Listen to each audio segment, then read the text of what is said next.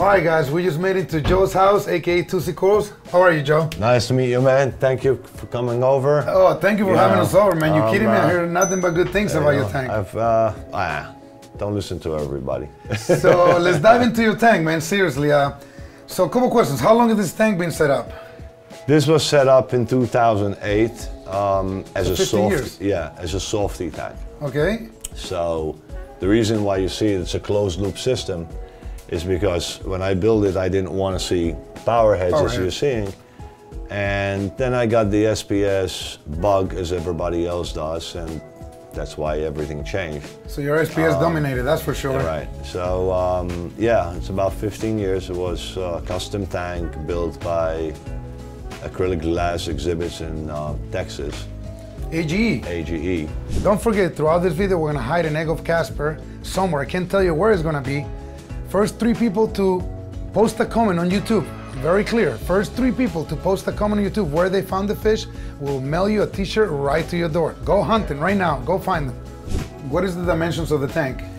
It's about 60 by 24, I believe, maybe 22 deep.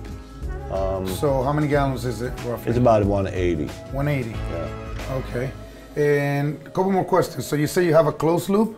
So you know as a reefer, one of the hardest things to achieve is flow. Oh, And obviously, I can tell that you use your own techniques, which I kind of like it. One of them is has nothing to do with flow, but earlier, I don't know if you guys can see here on camera, but he's got two metal halides. We're gonna get into it. I just I did a little sneaking before the video. So I say, hey Joe, one of your metal halides is off, the other one's on. Is everything okay? He goes, yeah, that's totally normal.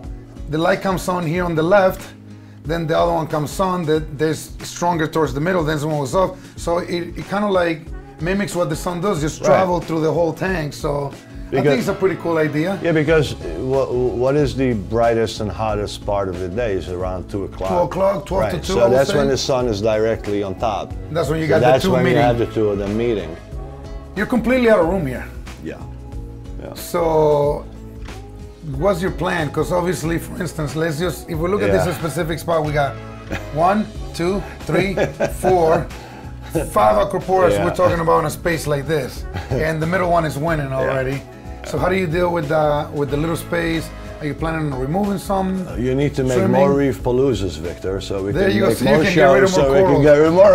Everyone says that, but four of them is enough already, man.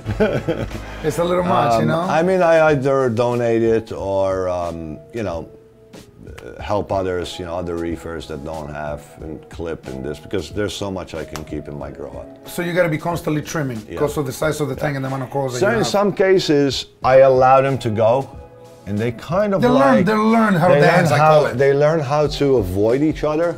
Also, another thing that I try to do is I try to, to get same type species of corals that I know if they get too close or touch, They're a little less gonna- aggressive towards each other. Right. It's difficult. It's, good. definitely a challenge. I mean, this tank, I redid this tank um, in November, yeah. and What do you mean by redo it? What do you what you do? basically, I uh, I almost lost the tank in November because I went to Europe. My father was sick, and my freaking chiller broke down, Wow, when you were gone. and the temperature rose, and corals were stressed because when I was gone, nutrient levels and the, everything changed, and um, I lost a lot of big colonies all at once. Gotcha. you know. But uh, I said, you know what? It's time to redo time it. to redo it again. So I took everything out. I left the the the, the heart, the body of the rocks and everything, and replanted. I love the aquascape, by the way. Yeah, thank you. And um, and I replanted all these scars. These scars were mostly frags. Fast growth. It, it grows i i because if you if you maintain it like I do, um, which is not hard to do, it's just discipline. Um, it, It's the stability, right? yeah. That's the key. Stability. And um, there's no my way better your, than yours is stability. Oh, so so whatever like cooking. numbers, It's like cooking, right? yeah, whatever numbers you choose to stick with, just stick with them. I tell that to You know. people all the time. So if you guys can pay attention at home, a lot of times you can have horrible nitrates, let's say 40. You can have your salinity at 21. Your temperature can be 81.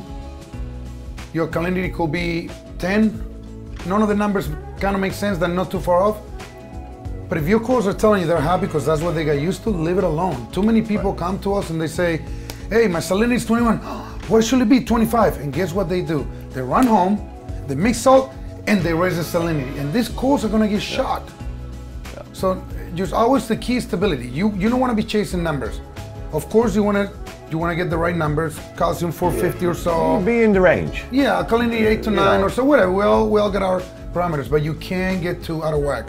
You start chasing numbers, you're gonna fail. Yeah, you're, you- you're gonna do it to yourself, and uh, to me, is like like we're saying, like you're saying, find the, the comfort zone. The problem is that we have forums, we have me, you know, social media now. It's you know, and it's like I I get people reaching out to me. It's like, what's the trick?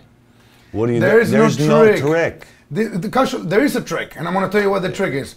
Don't listen to too many sources of information. Pick a person.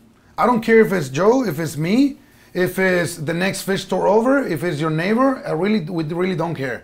Just when you go around gathering too much information, you gather information from your fish store, you gather information from the person that's guiding you, you gather information from the forums, you gather information from YouTube, and next thing you know, you put it together and you don't realize why it's not working because you're coming out with your own conclusions and your own assumptions on what's going Right. to work. I want to ask you a couple maintenance questions. What are changes? I try not to do them, Okay, especially in the summertime, Why is that? because I in the summer? Because in the summertime, what do we do? We're watering our lawns, we're throwing fertilizers, we're throwing insecticides, we're throwing all kind of stuff. So now, where's your water coming from? Gotcha. Is it well water? Is it rainwater? So it's dirtier Um, water in the where I live say more is, chemicals. is well water. So all of that chemicals are going to the water table, and then the, Gotcha. the- so that's the reason for the summer. so I don't believe that the RO is going to remove. Can clean everything. It's not know? easy. And where when do you have mostly RTN and STN the most? Is in the summertime.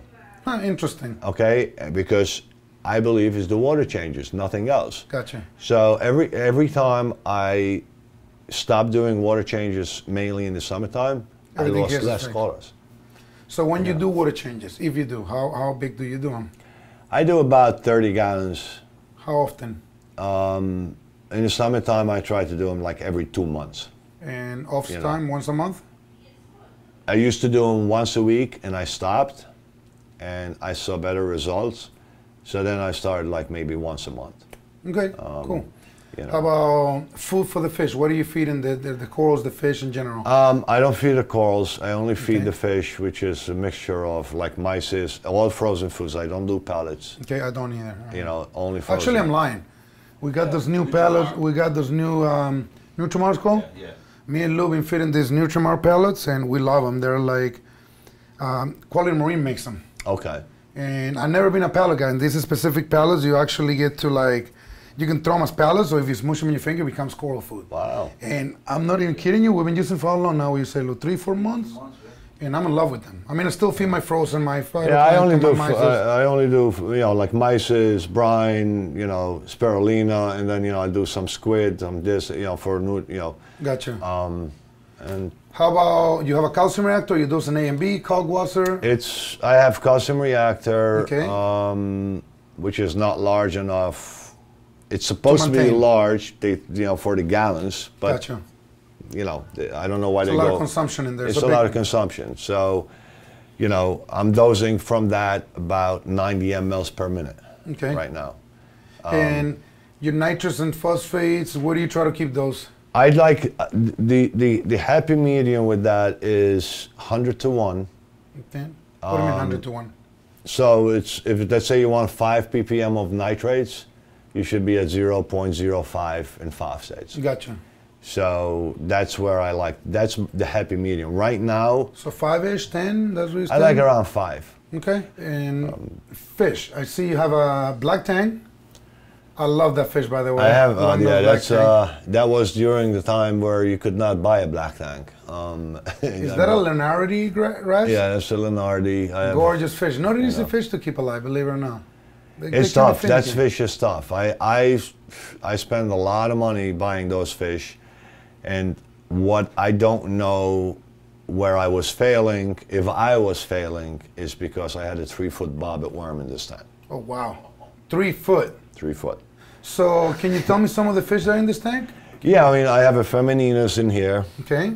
That's a early early wrasse, Okay. baby one. Um, you know, the Ramboys. This is a female Gionsani.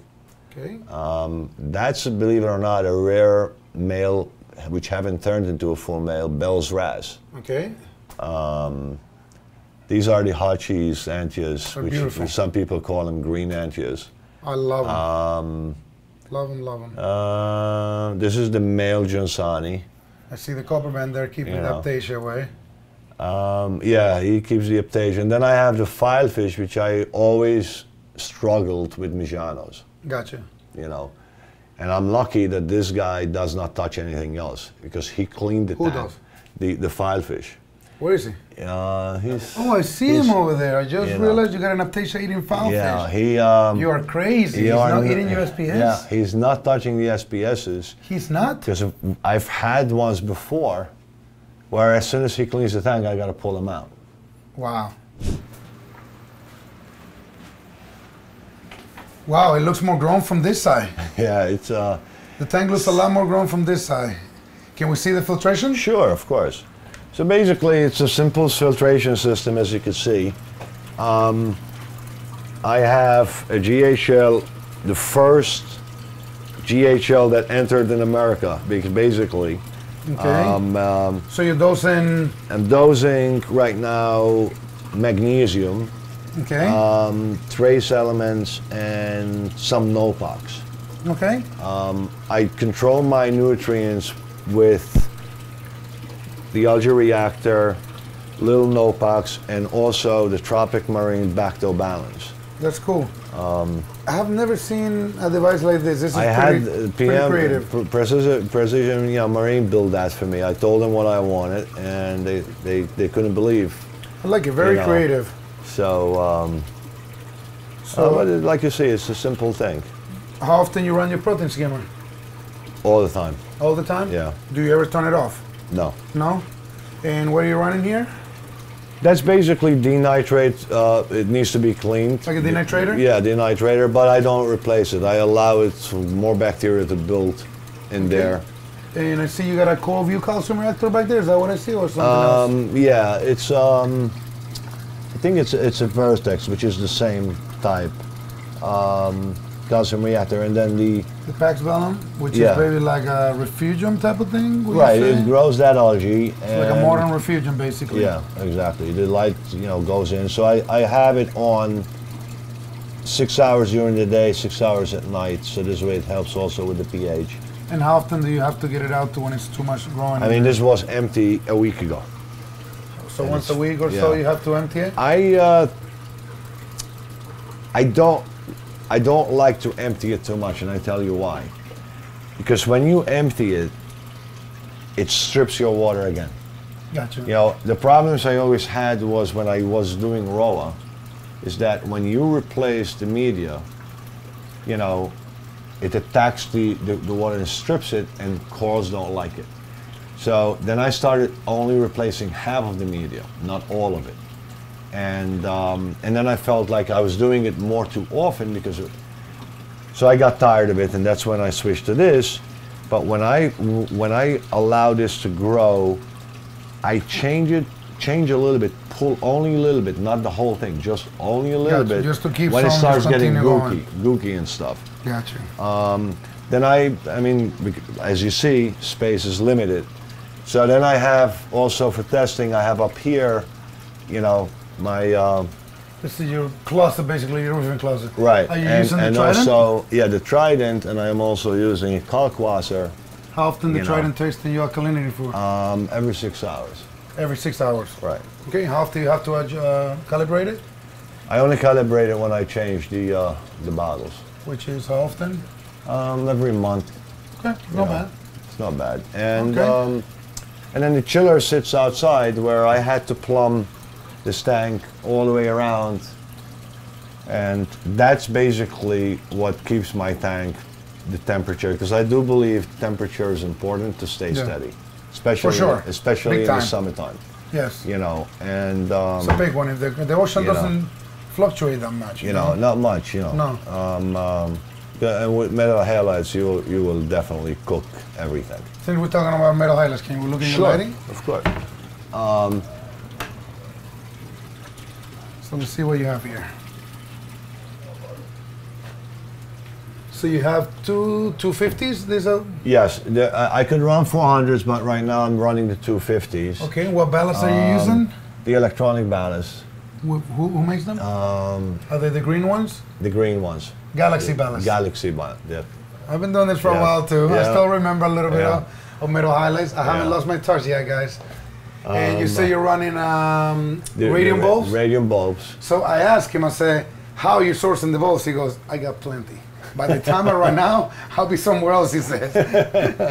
so smart man. There's still some people love metal halides. Tell you the truth, metal halides still one of my favorite lights. I just don't like the consumption of electricity and the heat that they Yes. produce.